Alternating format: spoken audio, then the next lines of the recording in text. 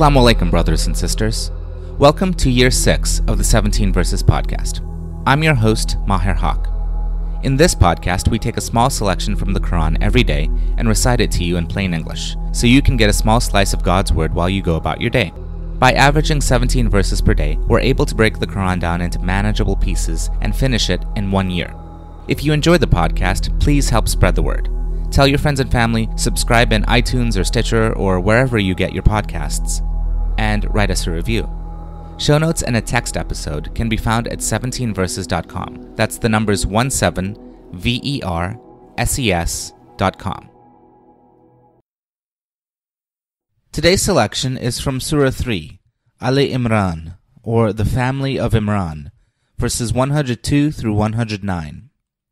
These verses counsel the faithful to live Islam, die as a Muslim, and not to be divided amongst ourselves, for there is punishment for those who divide Muslims into sects. Tafsir for this selection concerns the fear of God in verse 102 and the characteristics of a Muslim community in verse 104. Bismillah ar-Rahman ar-Rahim. In the name of Allah, most gracious, most merciful. O believers, Fear Allah as he should be feared, and die not but as true Muslims. All together hold fast to the rope of Allah, or the faith of Islam, and be not divided among yourselves. Remember Allah's favors upon you when you were enemies. He united your hearts, so by his favor you became brethren. You were at the brink of the fiery pit, and he saved you from it. Thus Allah makes his revelations clear to you, so that you may be rightly guided. Let there arise from among you a band of people who should invite to righteousness, enjoin good and forbid evil. Such are the ones who shall be successful. Be not like those who became divided into sects, and who started to argue against each other after clear revelations had come to them. Those responsible for division and arguments will be sternly punished on the day when some faces will be brightened with joy, and others darkened with gloom. To the dark-faced sinner, it will be said, Did you adopt the way of disbelief after embracing the true faith? Then taste the punishment for having adopted the way of disbelief. As for the bright-faced ones, they will be in Allah's mercy and abide therein forever. These are the revelations of Allah. We recite them to you in truth.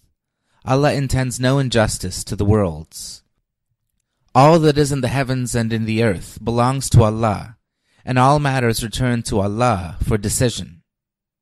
Amin. Now concerning the fear of God in verse 102, quote, Fear is of many kinds. 1. The abject fear of the coward. 2. The fear of a child or an inexperienced person in the face of an unknown danger. 3 the fear of a reasonable man who wishes to avoid harm to himself or to people whom he wishes to protect. 4. The reverence which is akin to love, for it fears to do anything which is not pleasing to the object of love. The first is unworthy of man. The second is necessary for one spiritually immature. The third is a manly precaution against evil as long as it is unconquered. And the fourth is the seedbed of righteousness. Those mature in faith cultivate the fourth. At earlier stages, the second or third may be necessary. They are fears, but not the fear of Allah. The first is a feeling of which anyone should be ashamed.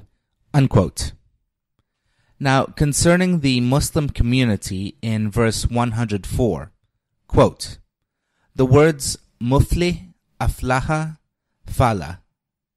The root idea is attainment of desires, happiness in this world and in the next, success, prosperity, freedom from anxiety, care, or a disturbed state of mind, the opposite of adhab in the next verse, which includes failure, misery, punishment or penalty, agony or anguish.